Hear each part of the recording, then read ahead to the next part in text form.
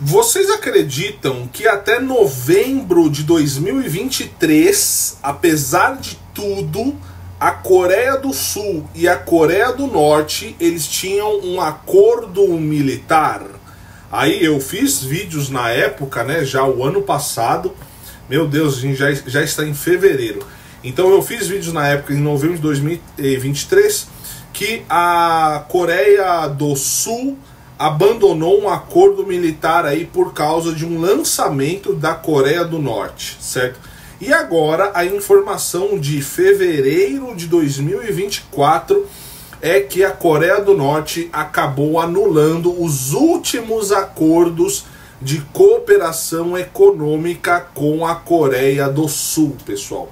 Então, apesar de tudo, ainda tinha certa cooperação entre Coreia do Norte e Coreia do Sul. E cada vez mais é, esses acordos estão sendo quebrados, estão sendo rasgados, estão sendo bloqueados. Ou seja, um bloqueio geral ali é, entre as duas Coreias, o que é, aumenta mais ainda a tensão ali na região, né? É, Coreia do Norte de um lado, aliado, né, tendo como amigo a Rússia, e Coreia do Sul, aliado e tendo como amigo os Estados Unidos da América, pessoal. Então, vamos ver aqui últimas informações aqui é de fevereiro de 2024, tá? É, o que ainda tinha acabou de ser rasgado, anulado, ou seja, é fim da cooperação. Fica comigo até o final. É, são oito minutinhos aqui de muita informação. Deixa aqui o seu arravte, deixa o seu gostei. Isso me ajuda demais na divulgação dos vídeos. É grátis, não dói. É meio segundo, você me ajuda de graça, de verdade. É, se inscreva no canal, pessoal. Muita gente assiste os vídeos, não é inscrito e aumentou significativamente aqui os inscritos. Quero chegar a 300 mil. Chegamos em 294 no momento de gravação desse vídeo. Curso de hebraico aqui, se você quiser começar o seu hebraico do zero, a partir de um método israelense. Primeiro link da descrição, estão todas as informações, tudo que você precisa saber para começar o seu hebraico aí do conforto da sua casa, tá bom? Tem o depoimento do meu amigo doutor Rodrigo Silva e tudo que você precisa saber e o meu presente para você, 13 e-books completamente gratuitos de hebraico. Pessoal, sem óculos eu não sou nada, absolutamente nada. Vamos lá, acabei de limpar aqui, vamos lá. Então é o seguinte, ainda existia acordos de cooperação econômica com a Coreia do Sul, certo? A Coreia do Norte tinha esses acordos de cooperação econômica. Só que é, a, a Assembleia ali, né, da Coreia do Norte votou por anular esses acordos, pessoal. E também é, há informações aqui que esse acordo, entre esses acordos aí que foram anulados pela Coreia do Norte, é, existia também uma espécie de turismo a uma montanha ali na Coreia do Norte, que aparentemente é, existia uma cooperação entre as duas Coreias, ou seja, os sul-coreanos poderiam visitar este monte específico ali na Coreia do Norte e agora é, não podem mais. Até aconteceu ali uma. Um, um, é, pesquisando né, sobre esse tema, é, se eu não me engano, em meados de 2009, certo? Um sul-coreano. É, é, ele foi para essa montanha na Coreia do Norte fazer turismo. Ele acabou se perdendo ali e acabou perdendo a sua vida porque guardas norte-coreanos é, chegaram a atirar nesse sul-coreano. Isso aí lá em 2009, por aí, certo?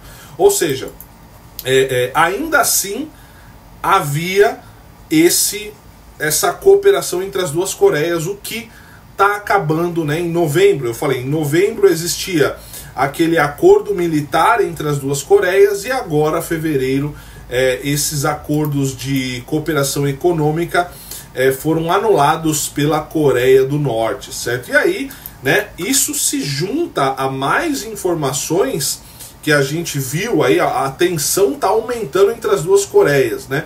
Até o líder norte-coreano Kim, ele pediu ali preparação das suas forças militares para um eventual conflito com a Coreia do Sul, que, segundo o líder norte-coreano, poderia acontecer em qualquer momento, pessoal. E aí, né, esses acordos cada vez mais sendo quebrados, a Coreia do Norte cada vez mais testando os seus dispositivos de ataque, isso cria mais tensão, né, pessoal? Ajudar não ajuda absolutamente nada.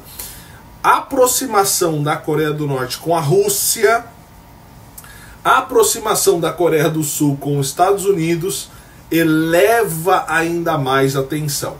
A pergunta que não quer calar é o seguinte: se caso um conflito acontecer entre Coreia do Norte e Coreia do Sul, será que as outras partes vão entrar? É uma pergunta que eu faço.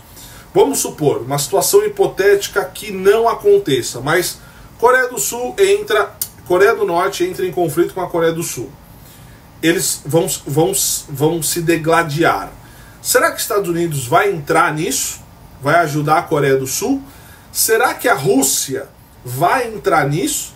Principalmente se acontecer agora, esse ano, 2024, pessoal, é ano de eleição para a Rússia e para os Estados Unidos da América presidencial. Então, é, é, isso é uma. A Rússia também vai acontecer agora. Eu, eu fiquei com, eu fiquei é, confuso agora. Eleição presidencial russa. Deixa eu ver aqui. É, exatamente, 2024, né? Uh, exatamente. Então, Rússia e Estados Unidos eleições presidenciais, com certeza é, vai haver aí muita, muita atenção aí para essas duas eleições. Parte da Rússia, né, muita gente acredita que o Vladimir vai ganhar de novo. Da parte dos Estados Unidos, muita gente acredita que o Biden pode sair e o Trump pode entrar. Enfim, precisamos aguardar as cenas dos próximos capítulos. Mas no caso de um embate entre as duas Coreias, será que esses aliados vão comprar essa briga nesse ano, em época de eleição? Enfim, a gente precisa aguardar, né? Então são situações hipotéticas aqui. Mas o que não é hipotético, o que foi confirmado foi é, o teor deste vídeo aqui, tá bom? Então é isso. É, deixa aqui nos comentários a sua opinião. É, quero muito saber o que, que você pensa sobre essa questão? Você acha que vai ter alguma algum embate aí esse ano 2024 ou sim ou não? Comente aqui embaixo, use aqui o espaço para comentários, tá bom? É, muito obrigado, fique na paz, vejo demais vídeos, tem bastante assunto interessante. São sempre três vídeos por dia com muito conteúdo. Fique na paz, shalom, tchau, tchau.